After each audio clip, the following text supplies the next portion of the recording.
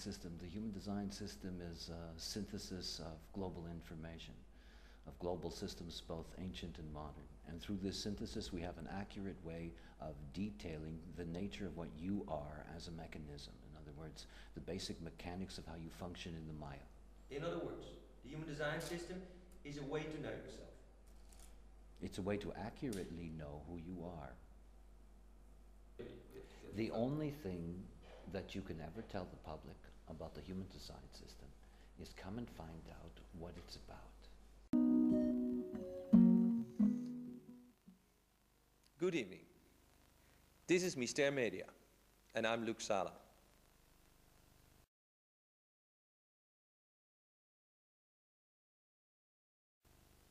In this program, we go into the depth of the human design system. This is a system which was received, as he calls it, by Ra Uru Hu. The human design system works with nine body centers, or we can call them chakras, and the connections between these centers. According to Ra, the energy in these body centers is very important.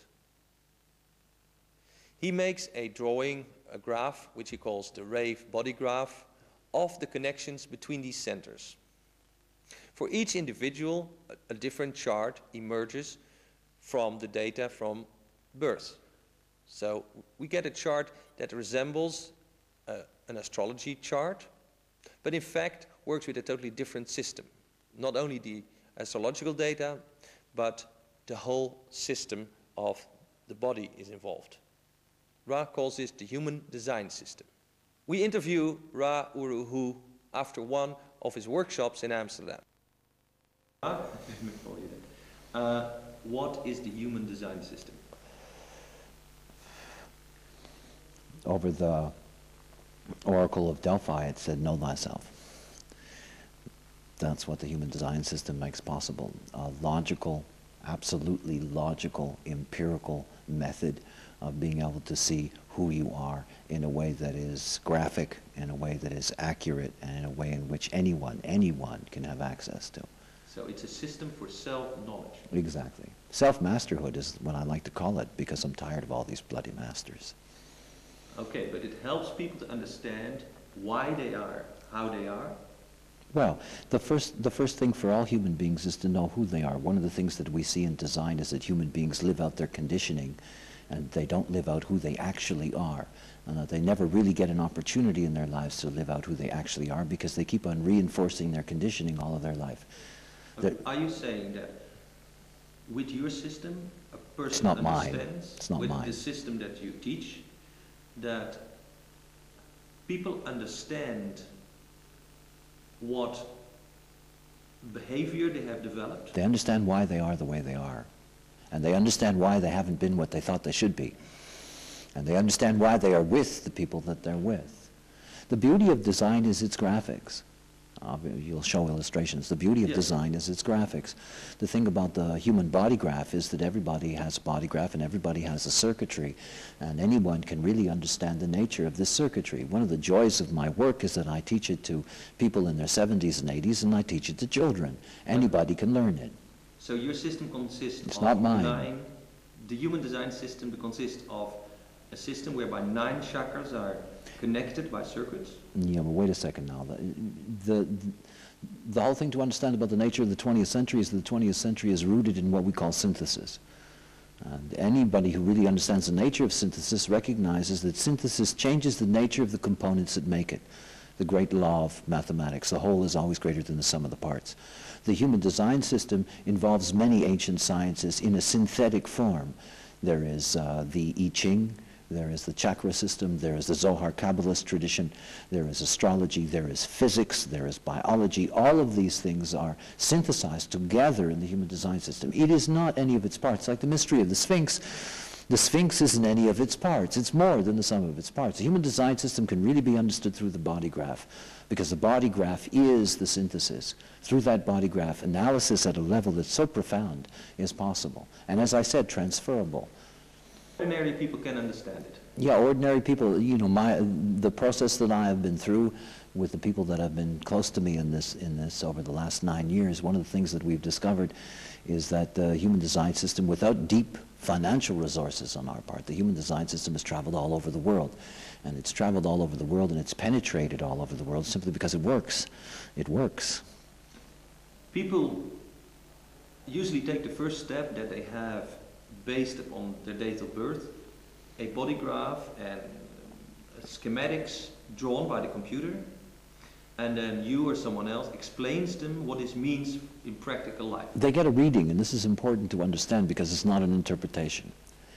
That is, uh, we've trained hundreds of analysts. We've trained over 24 teachers that operate in the world now. And one of the keys to design, one of the analysts we trained had a wonderful thing he used to say. He was an astrologer for many years. And his favorite line at the end of an astrological session was he used to tell his clients, by the way, you can go to another astrologer and get a totally different opinion. And uh, his joy in design was that he, he realizes that he can't say that anymore. You can go to another design analyst and you will get exactly the same reading because the information is read. It's all written down. It's all written down. That's the beauty of this information. So there's no much room for interpretation based on the body graph? No, no. The only thing that's, the only interpretation that actually takes place and what analysts are trained to do is to explain how the energy moves in the body graph. But the actual database, our genetic information, is simply something that's read. This is the beauty of design. You know, the beauty is that you get very, very clean information that is not being controlled or manipulated by somebody who's offering you that information. It's a reading. It's not a mystical experience. It's a reading, and it's a reading literally of your genetic code. Okay.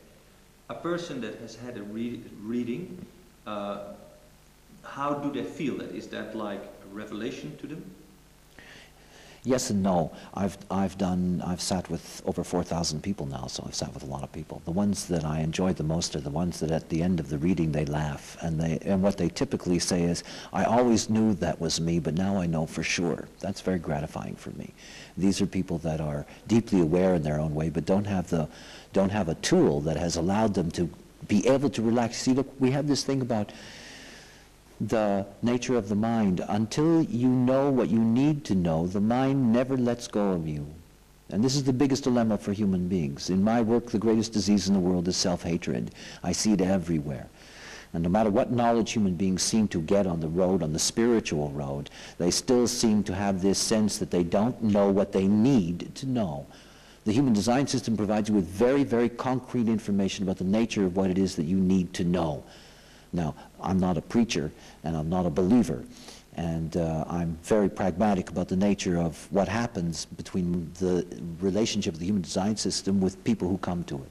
Most people come to this knowledge because they're ill. They come to this knowledge because they have problems and that they're deeply unhappy. They come to this knowledge because that's what they do in life. They seek out spiritual stuff.